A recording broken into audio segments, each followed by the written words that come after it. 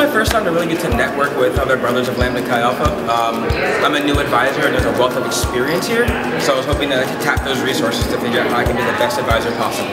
It's really incredibly rewarding to, to get to, to get to know people.